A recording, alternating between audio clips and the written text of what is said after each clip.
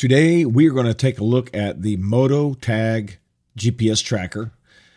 Some of you asked me about reviewing it uh, when I actually did this video here saying not to buy it right now because I didn't think it was ready. But many of you asked me to get it unboxed and set it up and check it out. So today we're going to do that. And I also have another device that is a Google Find My Device network capable. And so stick around because we're going to check it out too. So let's get to it. Okay, so after I published that video talking about the Moto tag and how I didn't think you should buy it right now because I didn't think it was ready, I had several people wanted me to go ahead and unbox it and test it. So today that's what we're going to do. We're going to unbox this device, take a look at it. I'm going to set it up in the um, app and we'll kind of check it out and see. I have another trip coming up next month that we're taking a family vacation to Mexico. So I plan on taking this device, the Pebblebee Clip, the original Samsung Smart Tag, and the Samsung Smart Tag 2 with me on that trip to test them. I also have another device today that I'm going to show you that I'm going to take along, but stick around because we're going to get to that here in just a minute. But the biggest reason why I said that this device wasn't ready yet and why you should wait is because Google has not implemented the ultra wideband capability yet into the Find My Device network or app. This is the only device that I know of currently that actually has ultra wideband support. So Motorola built it in. It's actually functioning on the device, but Google is not using it again, that's kind of ridiculous. So uh, we're gonna still check it out though. I think um, it still has some merit as uh, a you know a Bluetooth GPS tracker, and we're gonna see how well it works. Now, a few features that this has that some of the others don't is it has a button on it that you can it's supposed to be programmable for a couple different things one is you can tap it to find your phone right so it like reverse finds your phone you're supposed to be able to tap it twice to be able to use it with the camera and make the device take pictures but I've seen a lot of people posting that it's not working. So we're going to test that out. We're going to see if it actually is working or uh, if there's some issue. Apparently, it's not actually functioning the way it's supposed to function. So we're going to find out. The only other thing that I'm not really too keen on is that you have to have an accessory device to put this into if you want to carry it around on your keychain or strap it to something because it does not have a hole to attach it to anything. So there's no way to, you know, put it on your keyring. Now, I personally don't carry any trackers on my keys, so to me it's not a huge deal. Like this device here I could just put in my luggage, which I plan on doing. But as you can see, you know, both the old smart tag the Pebblebee clip, and of course we know the Samsung Smart Tag 2 has got that big ring.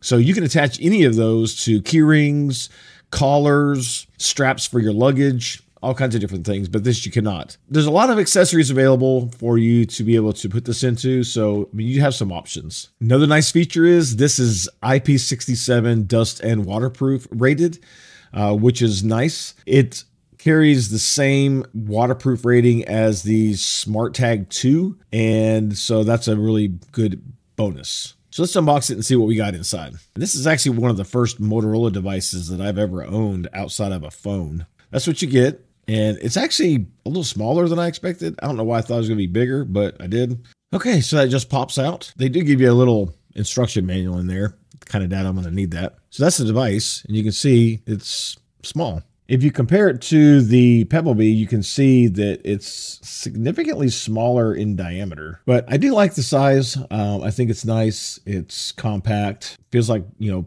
premium build. It doesn't feel cheap. Now, this device here, unlike the Pebblebee, so the Pebblebee has its own network and it has its own app. However, you can't have the Pebblebee in the Pebblebee app and the Google Find My Device app at the same time. It's one or the other. My understanding is this you can do both because you need the app to be able to configure some of the additional features that this has. So Motorola has a Moto Tag app that you can get from the um, Play Store and you'll be able to configure some of the additional settings for this device. So I'm going to do a little screen recording on my phone and we're going to kind of walk through the setup on this. Supposedly you're just supposed to be able to pull that little plastic tab right there and it automatically prompts you to pair it. So we'll see. I also see other people saying that it doesn't pair the first time. You have to go through and kind of reset the app and go through all that. Uh, again, it shouldn't be that complicated. It should just work, but we'll see. Okay, so as you can see on my phone, I've already got the app installed.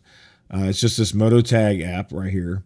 And uh, we're going to go ahead and let's get it paired up. So, so allow Moto Tag, yes, allow. And I'll go ahead and allow data sharing.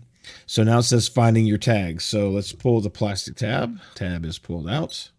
Yeah, see, this is what other people were saying too, that it just didn't seem like it wanted to pair quickly. Okay, so let's end that. We're going to go back in here. Oh, look, as soon as I close the app, uh, now it wants me to connect. Crazy. So let's connect. Actually, I think that's the Google. It's, yeah, that's the Google Find My Device app that's doing that. So maybe you have to pair that first. I don't know. Let's see. Okay, so that was super fast, super easy. And that's the Google Find My Device app, as you can see right here. So let's open the app. And so now you can see where it says Moto Tag. Um, of course, it shows uh, my house right there. So yeah, it's locating correctly, which I would think it would. I'm going to name this to Rob's Moto Tag. And I'm going to put bag because that's what it will be. And so, yeah, that's good. So, okay. Um, again, it works perfect with Google let's see if I can get it actually in the actual app. But as you can see now on my Find My device, I have the Pebblebee clip, I have my Moto tag, of course, my watch and my phone are both part of the Google Find My device, uh, which is nice. So let's open Moto tag. Oh, so yeah, now it's in here. See, that's crazy. You should be able to actually, you know, use the app to pair it, not just the Google Find My device, but that's okay. I mean, no big deal. So let's tap on this here and find my device, locate on map. So that goes to the Google Find My Device app. Interesting. Let's see what it sounds like. It's not very loud. That's another thing I had people mention that it wasn't very loud. See, my, my understanding was you were able to program the the button, but I don't see a way of doing that. So, because when you click more, uh, of course, it gives you like the tag name, the model, the firmware. See, it says double press the button on your tag to play a sound on your phone. It's not working.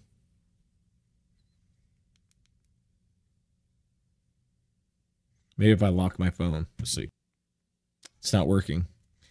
See, this is the kind of thing that just frustrates me in that the simple features that they say you know that it has they don't work. They just don't work. It's just really frustrating. A ringer volume. Okay so you can set the volume for the ringer in the find my device app but you can't set it in the moto tag app. Again weird. So let's say hi and let's see what that sounds like. Let's go back here play a sound. It's not really that much louder so I don't know. Okay, so honestly, it, it it already is a little disappointing to me in how you know the volume for the ringer is really low. Now, of course, once ultra wideband becomes available in the app and it's able to take advantage of that, I don't know that you're really going to need the ringer because the way the ultra wideband allows that augmented reality and really precise location finding. Uh, but we'll have to see how that is actually you know implemented and how it works once they get it you know functional. But i've read about the fact that you're supposed to be able to use this like to take you know pictures with your camera as like a little remote. Um it apparently the double clicking to find my phone doesn't work which i don't understand. Let's try it again. Yeah nothing. Uh so i don't i don't understand you know why does it have to be that complicated? Because to find your phone actually you know, is probably really functional for some people that lose their phone. I know that um, I have some family members that will occasionally lose their phone. They'll drop it somewhere. It's stuck in a steep cushion of the couch or something like that. Uh, it'd be nice to be able to actually utilize that feature, uh, but it doesn't work. Okay, so what I didn't realize is I had to turn on the feature for the double press to find my phone. So as you see here in my app, you have to actually click on locate your phone and then you have to enable that functionality. And then once that's turned on, then the phone will ring. Let's turn it up. Yeah, medium to high doesn't really sound much different, but so then you can swipe down and you can see there where it says um, to stop ringing, press the volume key or tap stop ringing below. Hit the volume key, stops ringing. So that's easy enough. Um, that was my mistake for not realizing I had to enable that. And so now that feature does work, but I still have no option to be able to take a picture with double pressing it. It only rings the phone. I might have to do a little research on that and see maybe if there's a, uh, an update or something to enable that. I don't know. The Samsung app to me, again, this blows away all of the other devices I've tested as far as a tracker. And I don't know that, you know, Google's going to even be able to catch up to Samsung and Apple because both their products work flawlessly. They're easy to pair, super functional, and you know Google's just behind the ball on this one, in my opinion. So again, not really much to this. Um, it did pair pretty fast, actually, with the Google Find My Device app, not the Motorola Moto Tag app. It doesn't have any way of configuring the double tap like I had read it did, but maybe that's a feature they're going to enable later. Yeah, so we'll have to see how it tracks as far as when we go on vacation next month, how accurate it's going to be because I'm going to have it in the same luggage that I'm going to have these. And so we'll see. But in my opinion, um, it's disappointing. It, you know, all these devices are like 30 bucks. I mean, so it's not a lot of money. I mean, they're all fairly inexpensive, but you're just not getting the functionality that I think it should have. Again, when you look at Samsung and Apple and how they have their systems configured and their devices configured, man, they just they they pair instantly, they work flawlessly, they're very accurate. Of course, the Samsung is ultra wideband capable the Samsung app does use ultra wideband. Yes, the Apple and Samsung devices only work with their respective phones. So, you know, the Apple AirTag only works with iOS devices. The Samsung Smart Tag only works with Samsung devices.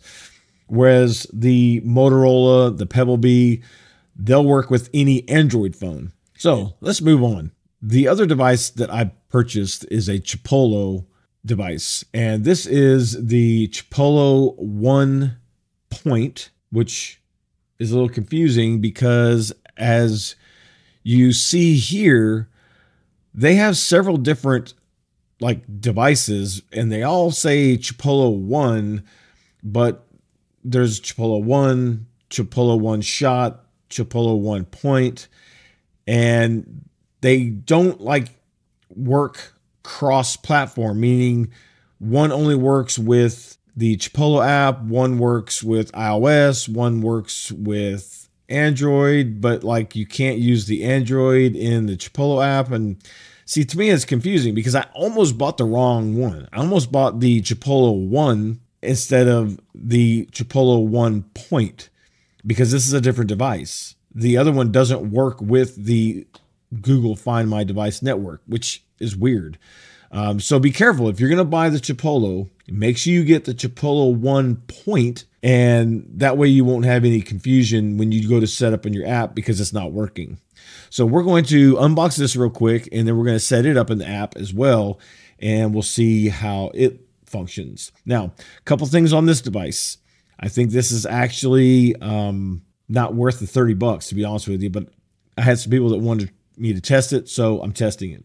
One good thing, I suppose, is you don't have to have a third party app. It's just straight up Google Find My Device. So you don't have to have like a the Chipolo app in order to get it configured. One of the negatives, there is no reverse finding your phone, but this doesn't even have it. Like it's not even possible. The battery lasts a year, according to Chipolo, which is on par with other devices other than the Samsung Smart Tag 2. That device can last like 500 and some odd days. It's insane. Long time. Now, here's another drawback on this here. This is only IPX5 splash resistant rated. So, for example, if you drop this, like let's say it's on your keyring, you drop your keys in a puddle, you might end up damaging this device. Whereas the other devices are, you know, waterproof IP67 rated. So, why they only made this IPX5 for splash resistant, I don't know because if you're putting it on your key ring, how many times have you dropped your keys in the water? I know I have, as I've been like running to my car and it's raining and you know I drop my keys on the ground. But I don't know. I think that's again a bad choice. And of course, then you have the confusion with the different Chipolo products. None of them work with you know the other apps. You have to use you know each one with its specific app that it works with. Uh, I would think kind of like the Motorola, how the Motorola works with the Moto Tag app and the Find My Device app. Of course, the Pebblebee, it's kind of the same way. You can't use the Pebblebee device in the Pebblebee app, only in the Find My Device app. I really don't understand why they did that. That's so confusing, and it's going to confuse a lot of people. So let's get this unboxed and let's check it out. Simple packaging, which I like simple packaging. I don't think packaging needs to be complicated. I think some manufacturers get a little crazy with their packaging. Okay, so here's a Chipolo device. And again, it's on par as far as size goes. Uh, it is bigger than the Motorola, but it's about on par with the Pebblebee Clip. And of course, the original Samsung Smart Tag, you know, it's kind of a, a different design, but it's about the same, you know, overall circumference. So according to Chipolo, you're just supposed to be able to click it next to your phone. The Google Find My Device app will see it and pair it. So let's see how that goes. So I'm going to open the Find My Device app and we're going to click it. Okay. Oh, there it is. Look at that. See, that's how it should work, right? Super fast. So say connect. And see, it says Chipolo one point. It has to be the Chipolo one point. If you get one of the other ones, it's not going to work. So agree and continue. And there it is. And of course, it's tracking the same as the others. So let's come in here. I want to rename it. I always rename my devices. I like to put my name in front of it because let's say I get one that's for my wife, then I would name it, you know, my wife's name, which device goes with which user and or, you know, luggage, bag, whatever they're attached to. So I want to say bag on that as well. Much louder than the Motorola that sounds a lot better than the Motorola device. The Motorola, like you almost couldn't hardly hear it. And I think if it were like inside luggage, there's a chance you might not hear it at all. But see, this has like no other features. Like this is it. You put this on keyring, you put this in your bag or whatever the case may be, and you just simply use this to track. It can't reverse find your phone. There is no button that you can use to click to do any kind of functionality. Um, yeah, super basic. Again, I'm not even sure this is worth the thirty dollars that I paid. so I don't know. We're gonna see how well it tracks though. Uh, Chipolo does have their own network, but this is not going to be part of it because it's specific for the Google Find My Device network. So you can't use the existing Chipolo network that's already in place. It would be nice to be able to combine the two, right? Because then if you have Chipolo users that aren't part of the Find My device, but that can actually track this device, then you would have that additional uh, way of you know tracking it. But it's not capable. That's it. You know, I, I'm sitting here looking like, is there something else to do? And there's just not. it's just super simple. So, all right. So now, as you see, I have the one point, I have the Moto tag, and I have the Pebblebee clip all in the app.